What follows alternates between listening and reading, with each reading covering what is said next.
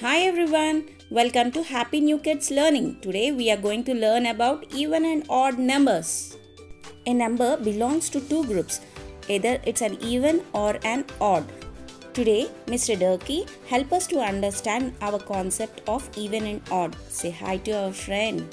Mr. Ducky is ready to help us to discover the secrets of odd and even. Shall we start? So, what is this even and odd numbers and what are we looking for? And what is that keyword that tells us whether the number is odd or even? An even number can be grouped by 2. An odd number cannot be grouped by 2. It is all about the number 2. It is very confusing, right? Let me show you an example and you will be understanding it. Here is the easier number to do. Looking for the number 2, okay? We can group it in the group of 2 because it's the number 2. We got two duckies that makes the 2 as even. Now, this is odd. This ducky is all alone. It is not in the group of 2. This makes the number 1 as odd. Let's look back to the number 2. Our ducky has a friend now. It is not weird. It's not an odd. So it is an even number. Here we have 3 duckies. Now, can we put number 3 in group of 2? Oh no, because third ducky is all alone. Top 2 has a friend, but the third one is all alone. So this makes 3 as odd. Here we have 4 duckies. Now we are looking for the group of 2. Now we have 2 groups. That means 4 is even. Wow, 5 duckies. Look, one at the bottom doesn't have a friend. That is an odd. So 5 is an odd number. Now moving on, we have 6 duckies. That means each duck has a friend. 6 is even. Wow, here are 7 duckies. But one ducky doesn't have a friend. 6 of them have friends. One is all alone. So 7 makes it an odd.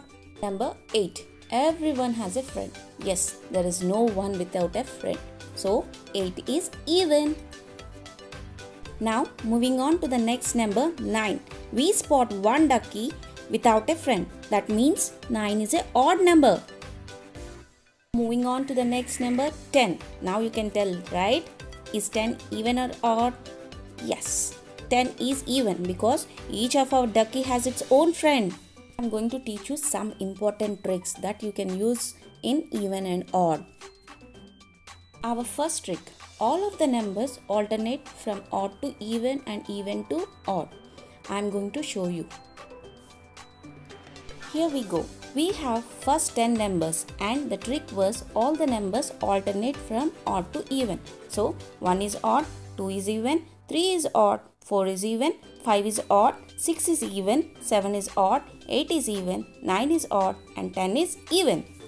The first trick says that all the numbers alternate from odd to even. And our second trick, with the numbers bigger than 10, we can see if it is odd or even at the end. With the numbers bigger than 10, we can see if it is odd or even at the end. To demonstrate that, let's play a small game called as odd or even. Our first number is 21. Is 21 even or odd? Yes, it's odd because the last number is 1. 1 is odd. So 21 is odd. So all the numbers that ends with 1 are odd. Let's look at 32. Is 32 even or odd? Yes, 32 is even because last number is 2 and 2 is even. So 32 is even. Now let's look at 100. Is 100 even or odd? Yes, 100 is even because 0 is even. Hope you understood even and odd with me kids. Thank you.